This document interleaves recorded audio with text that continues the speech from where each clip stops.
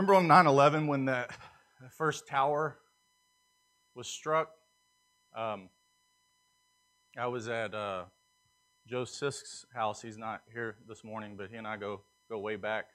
And I remember waking up, uh, uh, his roommates, one of his roommates, woke us up and uh, he said, Oh, a tower in New York, the, one of the Twin Towers has been struck. And I remember the thoughts that went through my mind. I was like, Wow, what a tragic accident. What, what happened, you know? And then, obviously, a little while later, another plane suddenly strikes the second tower. And I think collectively, probably as a nation, in that moment, a sudden realization that this isn't an accident.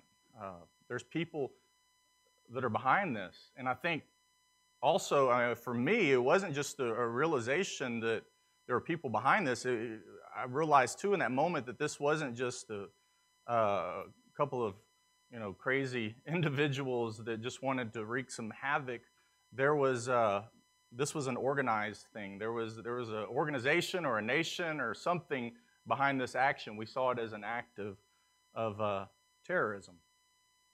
And of course, a few days later, the monsters came out of the closet, and that indeed was the truth, right? Uh, it was an act of terrorism, and there was an organization that was behind it. Um, this morning, uh, the theme of the message, I want to propose that monsters are very real. And um, Revelation 13 speaks of them. It speaks about two beasts.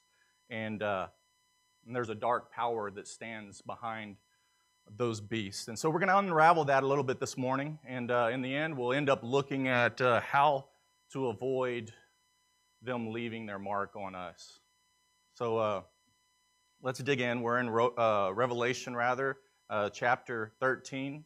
Going to back up just for a little bit of context. A good divide at, at, at uh, Revelation chapter 12, so we don't have to go all the way back to Revelation chapter 1. Um, John's vision shifts in, in, Revelation chapter 12, and uh, he sees a, a, a, vision of a, a woman, um, which last week, and I'll interpret all this as I, as I do summary from last week that that woman was believing Israel. It was the people of, of, of God, um, in particular, believing Israel.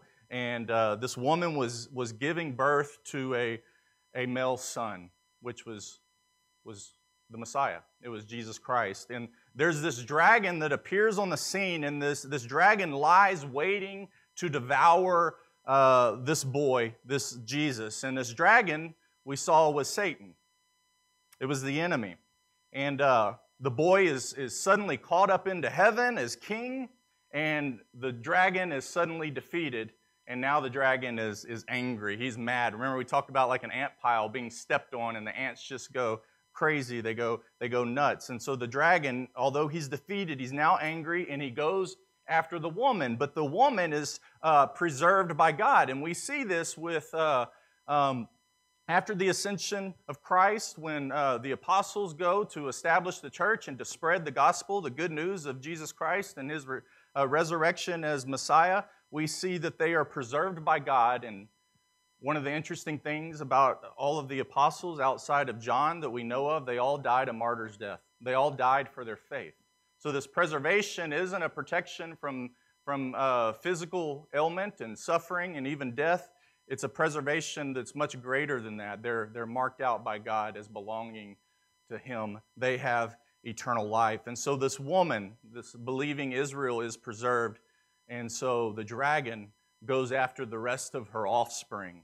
And we saw that the rest of her offspring represented the church. And that stretches from the time of the apostles to uh, October 2019 uh, here today uh, the church. And the dragon still goes around, he prowls around like a roaring lion, seeking someone to devour. He's still a very angry uh, dragon, but very much a defeated dragon. And that was the theme of last week, right? And so now we hop into uh, to chapter 13. We transition into 13. And so let's, let's read uh, here. We'll look at verses 1 through 4 first. John says, And I saw a beast rising out of the sea, with ten horns and seven heads, with ten diadems on its horns and, bla- and blasphemous names on its heads. And the beast that I saw was like a leopard. Its feet were like a, a bear's. You got that image? Go ahead and go to that image uh, for me, Joseph. It always helps. I'm a very visual person. For all you visual learners, there, there you go. Uh, especially stuff like this that's describing things in, in such detail. So, this beast I saw was like a leopard, its feet were like a bear's, and its mouth was like a lion's mouth. And to it the dragon gave his power and his throne and great authority. Remember, the dragon is Satan.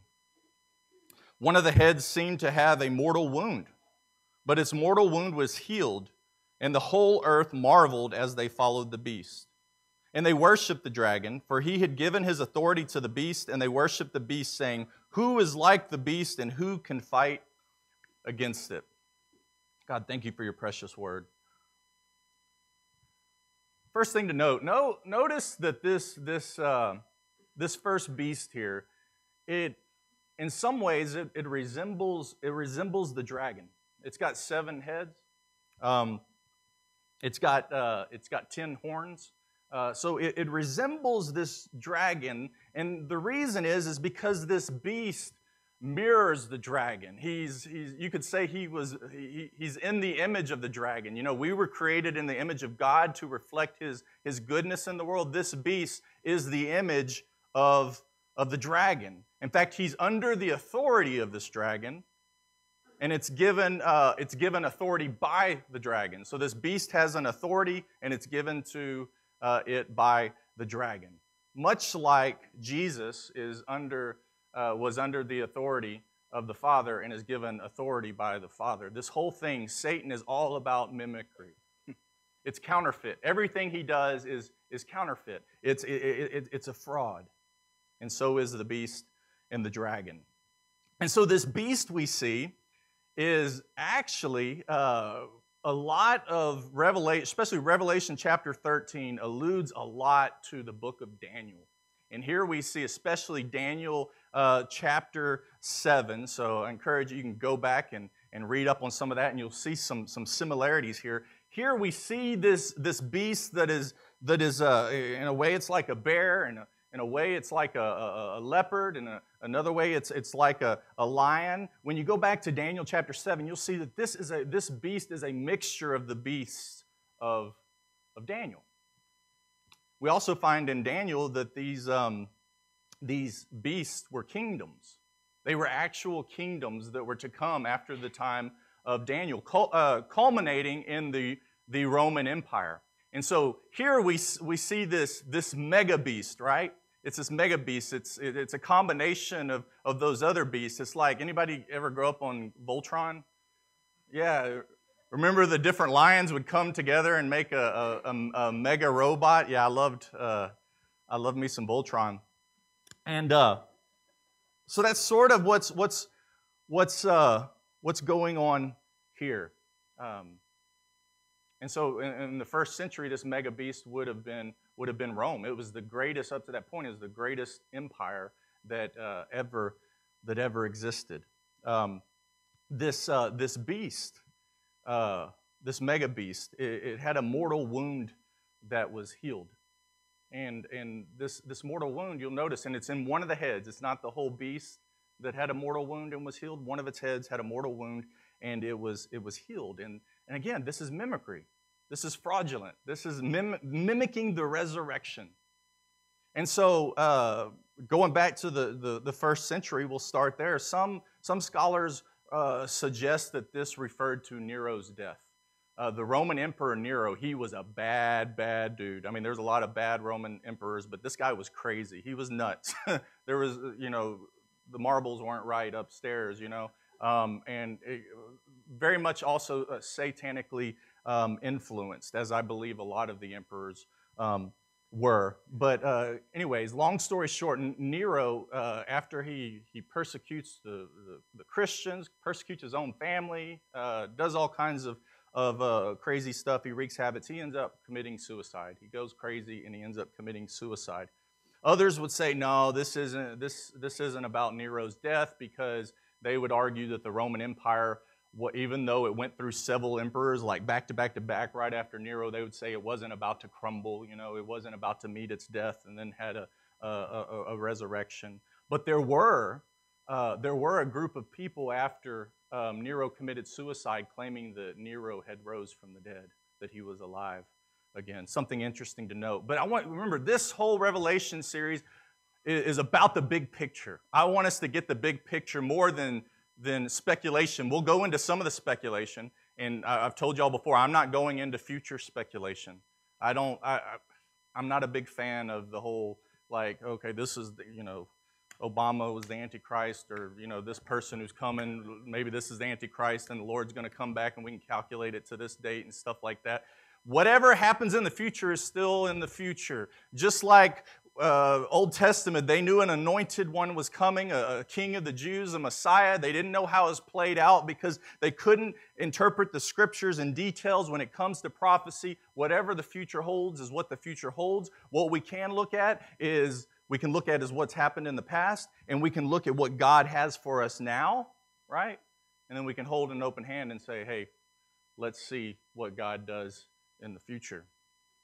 So, big picture this resurrection of this one, um, this mortal wound that was given to one of the beast's heads that, uh, that was healed. Um, the big p- picture is that what we see is after the resurrection of Jesus Christ. Remember, Jesus looked like he was defeated, right, by the devil on the cross. And then three days later, he's, he's, he's resurrected. He has the victory, right? And Satan is defeated, right? Satan is defeated uh, at that moment. But what happens after that? Even after Jesus ascends into heaven, evil still persists. I mean, even the Jews in the Old Testament, they were looking for a Messiah to come, and what they misunderstood about Jesus is there had to be a pit stop where sin was taken care of before the kingdom could be established.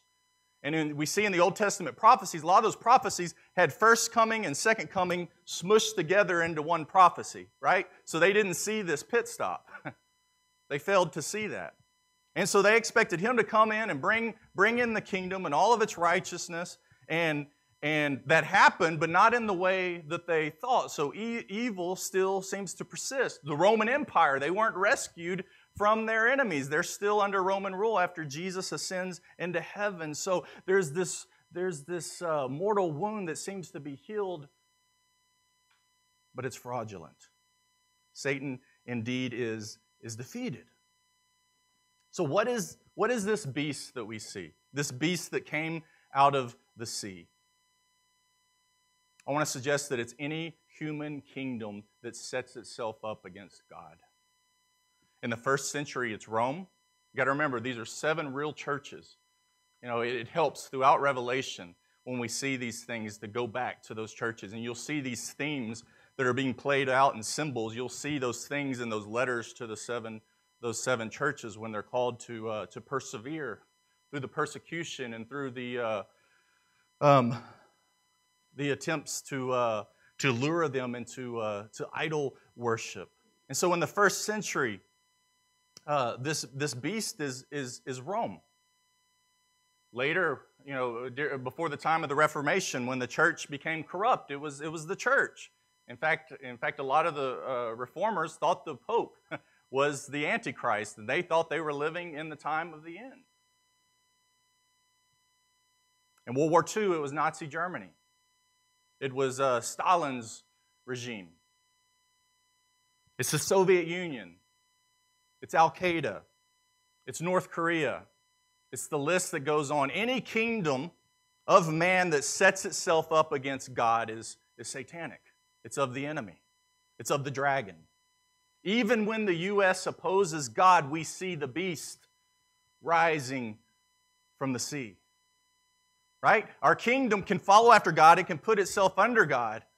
But when it becomes corrupt, you see that beast rising out of the sea. And so, what's the activity of this first beast? Let's look uh, starting in verse 5. We'll read by, verses 5 through 10 here. And the beast was given a mouth uttering haughty and blasphemous words. And it was allowed to exercise authority for 42 months.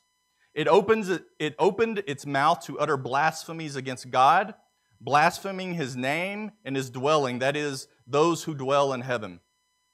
Also, it was allowed to make war on the saints and to conquer them.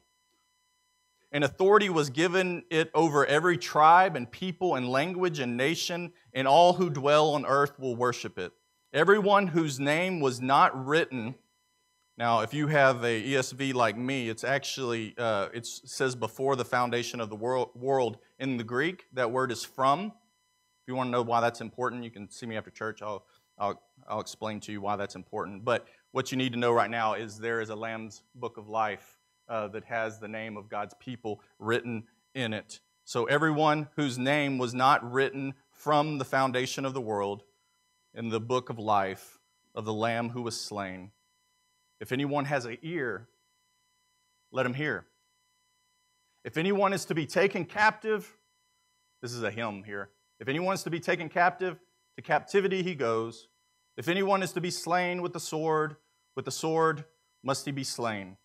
Here is a call for the endurance and faith of the saints. So, what's going on here? The kingdoms of this world, they're allowed to have a way for a time. And so we see this theme uh, throughout Revelation. We've seen it in, in Daniel of uh, three and a half years, or 42 months, or a, a time times a time, you know, or, or half a week. It's said in all these different ways to, to convey that for a period of a time, it's not eternal, it's not for a lasting time, for a period of a time. So the kingdoms of this world are allowed to have their way, right? That mortal wound that was healed, they're allowed to have their way for, for a time. We see in the first century, uh, the Roman Empire was opposed to Yahweh, it was opposed to God and his people. Many kingdoms today are still opposed to God and, uh, and opposed to his people. In fact, I would say the world system as a whole. When we say we're not of this world, we don't mean we're not of this earth. The earth was made for human beings, it was made for mankind. When we say we're not of this world, we're not of this world's ways, we're not of this kingdom, we're not of this system that is opposed to God and his ways and his people. And so we see in this passage that a war uh, uh, is made against, against the saints, and we see a war against the saints in what? Every facet of life. Satan wants to see the worship of God cease. Did you know that? I mean, there is a spiritual uh, war going on, and he wants, although he's defeated, right? He wants to take as many people with him. He wants to stop the worship of God because he hates God and he hates the Lamb. He hates, he hates Christ, and he'll do whatever it takes. And so, in some parts of the world, we see uh, people who aren't able to, to, uh, to worship the one true God. We see people uh, set up against Christianity. We see people dying uh, for their faith, and it's very real for them. When they read Revelation, it, it comes to life for them because their lives are lived out much like these first century Christians. But we see it even in, in a, a, a democracy like, like ours. we see Satan trying to get a foothold. We see him trying to make his way in, and he's clever, and he wants to stop the worship of God.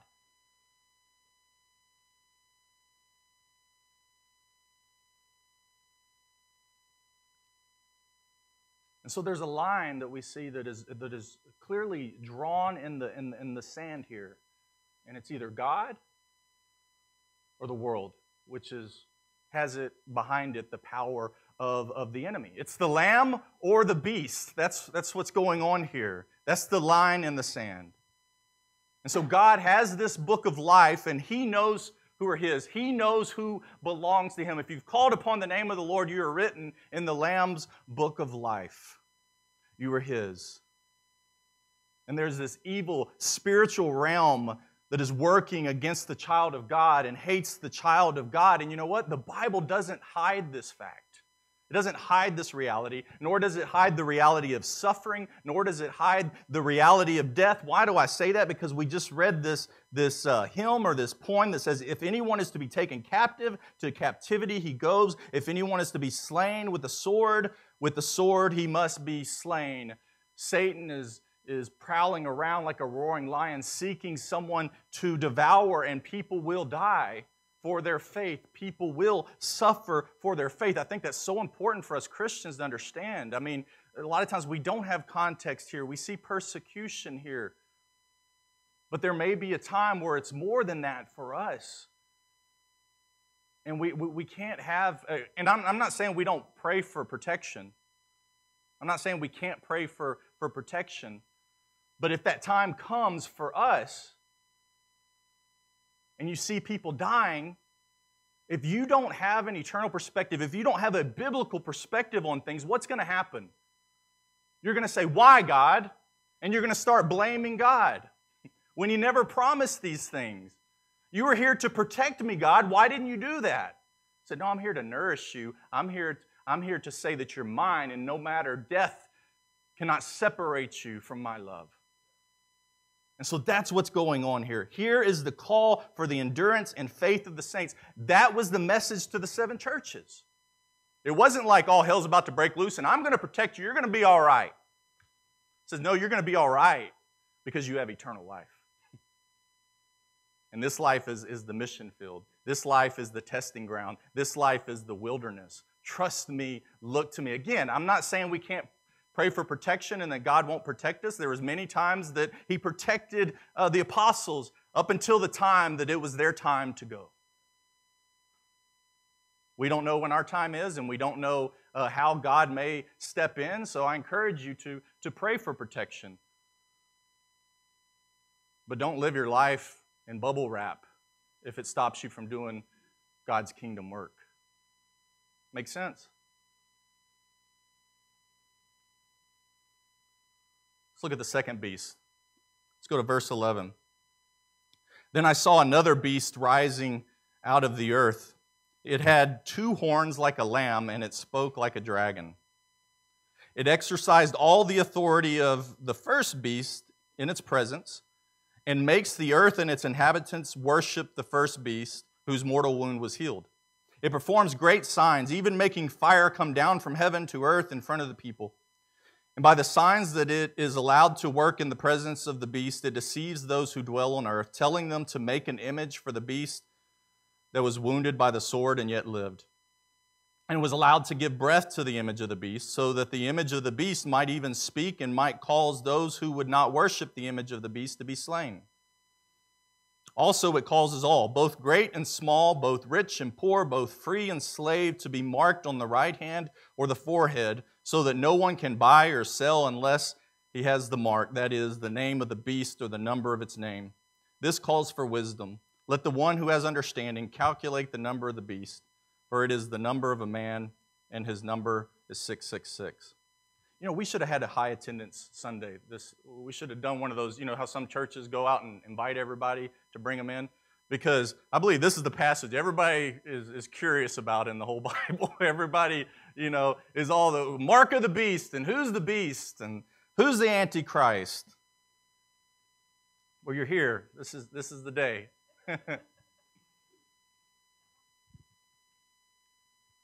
this second beast is deceptive. Yeah, it, notice it looks like a lamb, but it speaks like a dragon. You see, there's mimicry of, of, of, of a Christ likeness, but it speaks like, like a dragon because it's of Satan. It exercises the first beast's authority. So all the authority that was given to the first beast by the dragon, this one also have, has.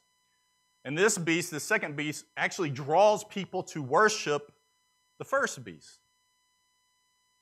It has these signs uh, here that, that mimic uh, uh Elijah but also it, it, it, mimics the two witnesses. If you go back a, a couple chapters and you see the two witnesses, which we came to the conclusion that, um, well, maybe you didn't, but I did in my, in my studies, that the, the, those two witnesses represent God's church, bringing the gospel to the world. And so there's this mimicry of, of, of God's, God's people and the power behind the gospel, but remember, it's fraudulent.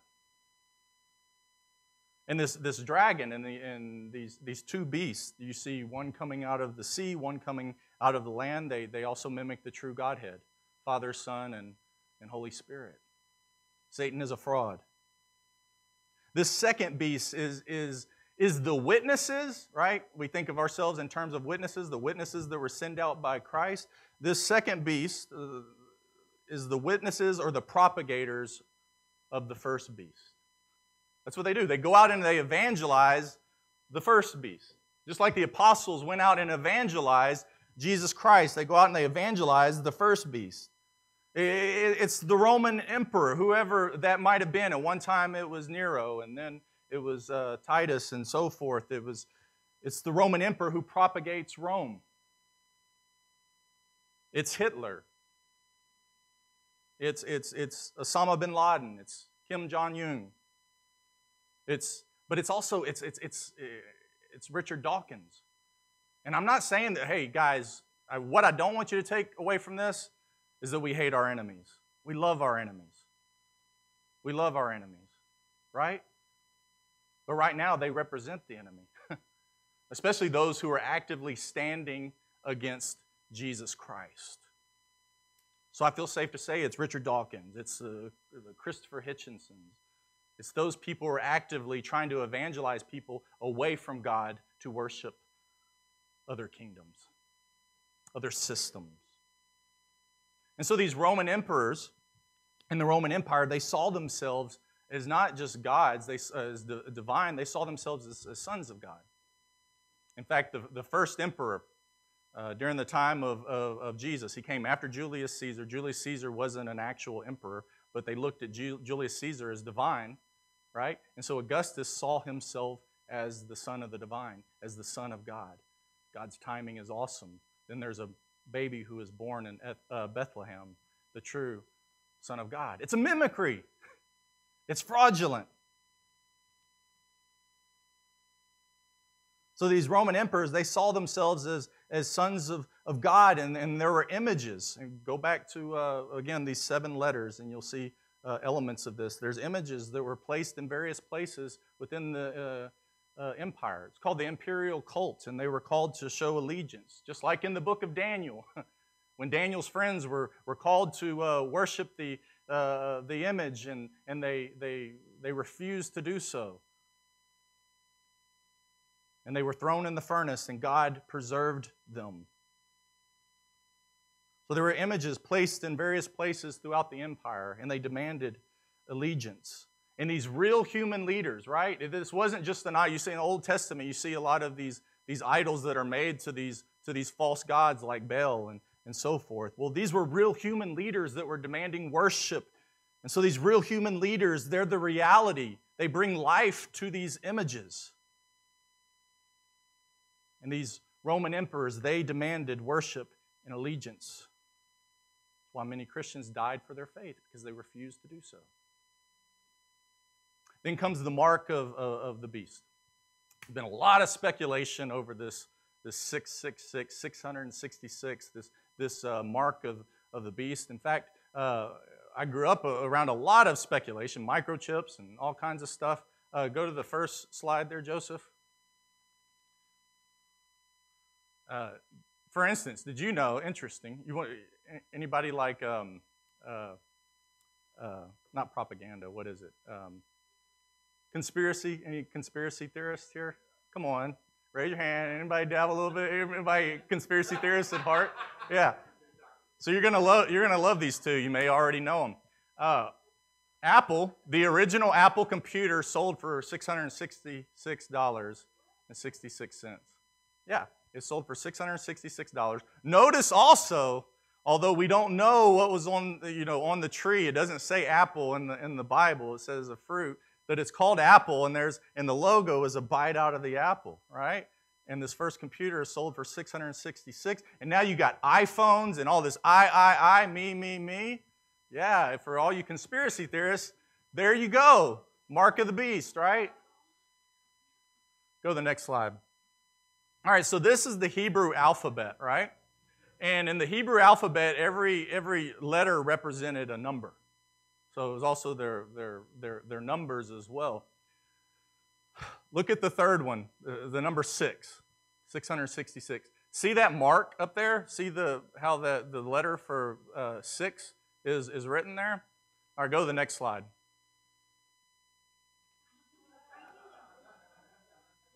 Look at that. Six, six, six. Look at the name of the energy drink Monster. All you conspiracy theorists, there's stuff online go at it. Have, you know, do, do, do what you do. Actually, look at the look at the monster. I'm, I'm adding to this conspiracy here. Look at the the O on monster has the cross with the thing around. Yeah, so um, there it is, the mark the mark of the beast. You keep drinking those things, and you're not going to have eternal life. I can tell you that. You've received the mark of the beast. Now, here's the thing Did these guys do this on purpose? Maybe. Uh, um, not Steve Jobs, I think it was his partner, uh, said he liked repeating numbers, and that's why he, he chose to do that. They might have done it on purpose because they might get a kick out of it. I don't know. This one, yeah, I could see somebody, especially uh, somebody who's atheistic or, or definitely not a Christian, doing something like this intentionally. I don't know. Uh, so yeah, is if so, if it's intentional, I would say yes. There's definitely evil behind it, even when people aren't intentional. You know, I've I've heard stories of like anybody know the the metal band in the '80s, uh, Slayer. My old pastor uh, told me he, he he he there was a reporter that followed them around, and his conclusion, his journalism was like, this band really isn't like satanic. It's he says, but what they don't realize is it's out there in the audience. You know what I mean? And so, I would say, as, as a believer and very uh, understanding of the spiritual realm, is what they're, what they're portraying is evil, even if they think it's a joke. Ozzy, a lot of his stuff was joke. ACDC, a lot of their, you know, the Hell's Bells, stuff like that, is because in the 70s and 80s, a lot of parents were going crazy about rock music being from the devil and stuff, and they played up on it to, to, to market and stuff. You know what I mean? So they weren't actually satanic, right? But they're playing people and they're drawing people, you know, at least they were. Now a lot of people look through that kind of stuff. We're got other issues now. It's, it kind of looks different now, but yes, there you go, iPhones. so let's get back to the let's get back to the message. In Hebrew, you can go back to the, to the um, there we go. In Hebrew, 666 uh, has been calculated. Remember, each of those letters represent a number. Uh, 666 has been calculated as Nero Caesar. Um, so if you calculate that, it, it, can come out to, to Nero Caesar. Now, again, is that speculation like, you know, in the first century, like it was, you know, monsters or whatever? Uh, I think it's, it's quite possible, though we know with a lot of uh, conspiracy theory stuff, you can make stuff. I mean, we've seen it perfectly with the Bible and with Revelation. We can make things fit how we want.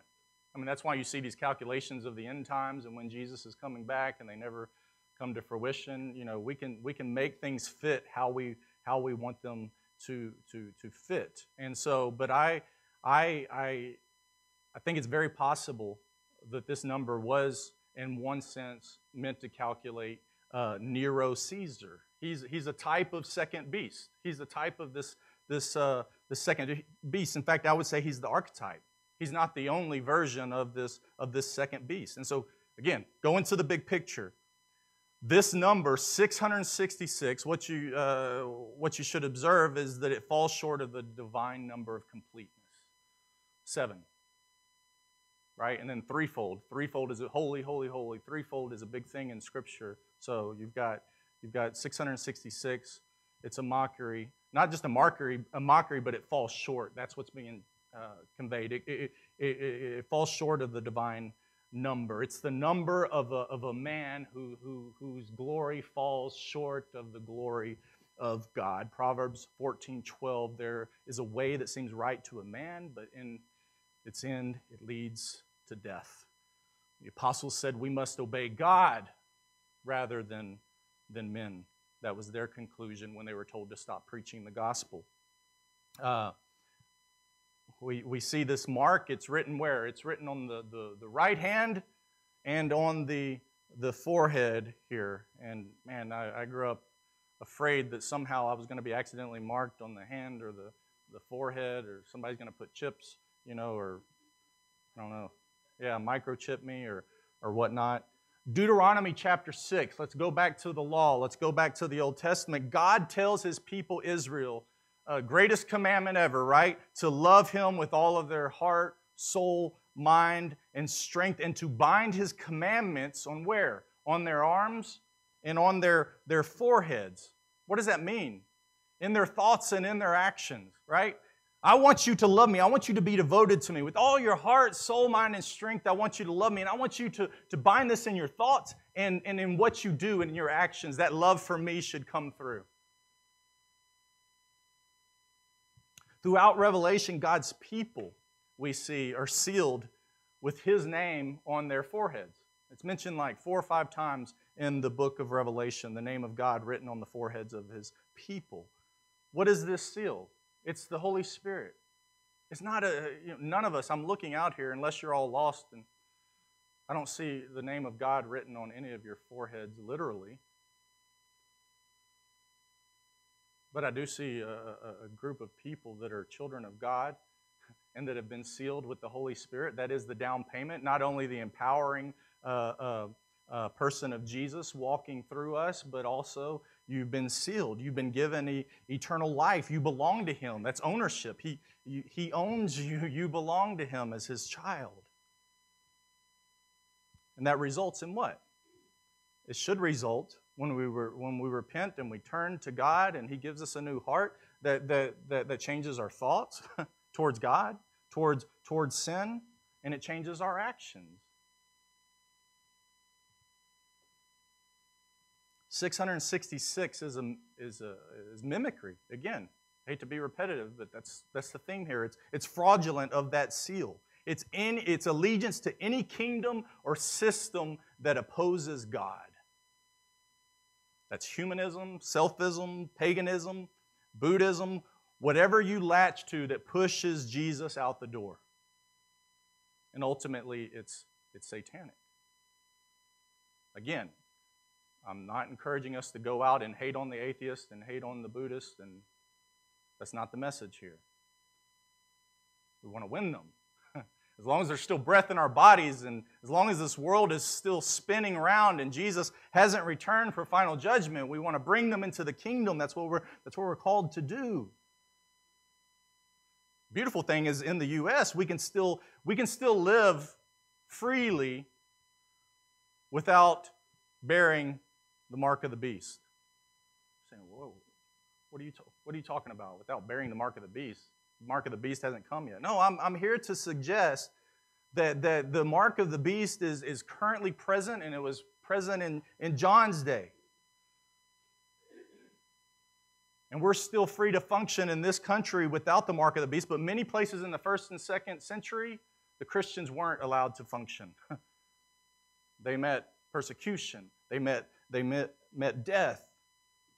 Many places in the world, you can't function freely if you don't have the mark of the beast, if you serve the true God of heaven. And tomorrow, that could change for us as well. So, in conclusion, these, these monsters are real. And so the question becomes how do we avoid them leaving their mark on us. And I would, I would, I would say that if we're looking at soda cans and microchips, that we may be missing the point. And I'm not, I'm not here to say, again, I hold future stuff in open hand. You know, I hold that with an open hand. I'm not going, I'm not here to say that there might be some kind of literal mark, but I don't think that's what's being conveyed here.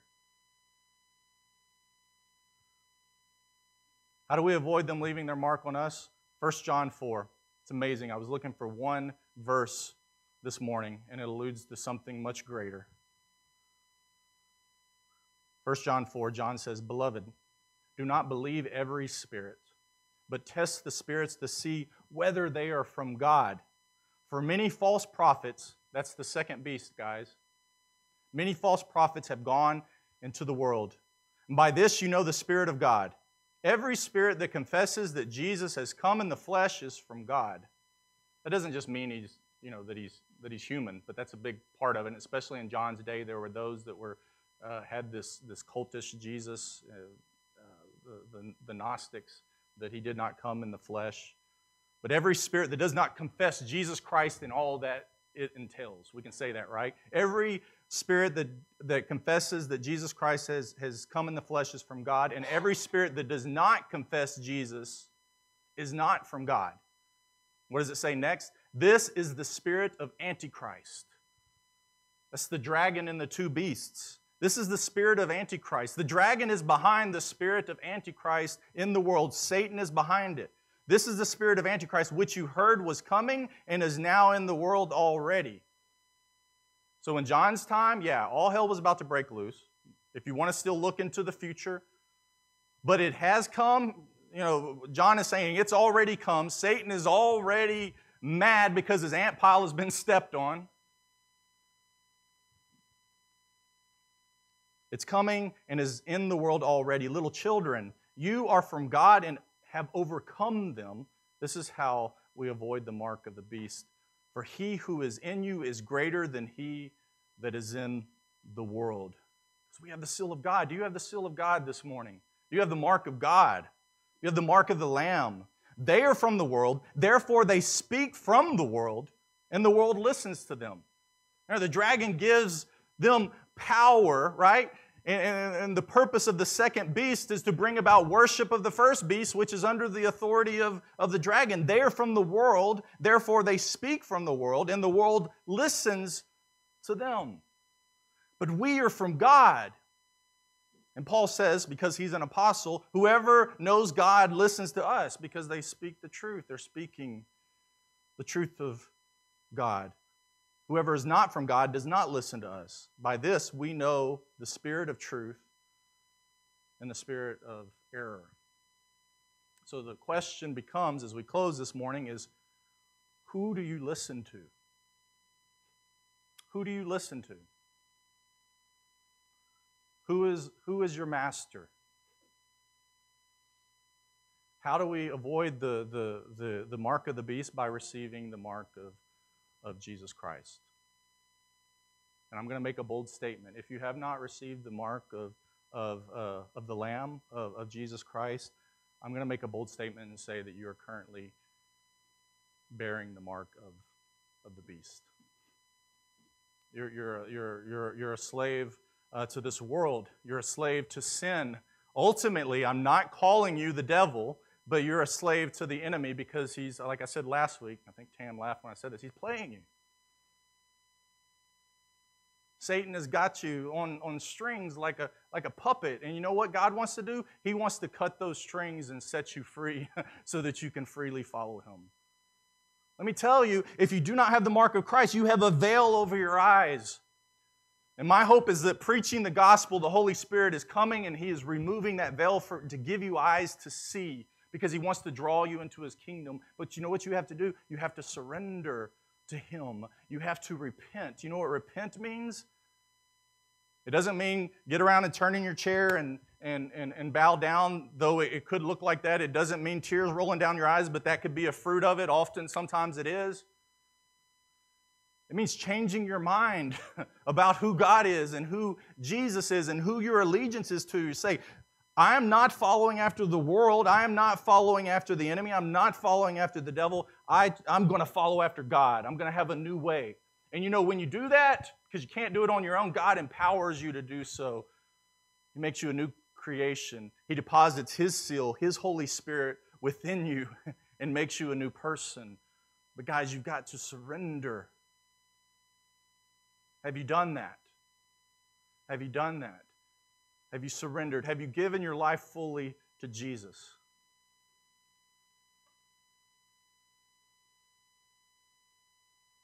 Christians, greater is He that is in us than He that is in the world. Satan has no hold on us. We're free.